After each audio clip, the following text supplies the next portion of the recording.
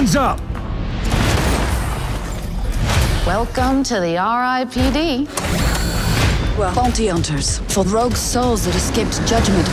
I got this. Our job is to find them and send them to where their ticket got punched. Hmm? Hell, Roy. Oh. We send them to hell. Oh! That was unexpected.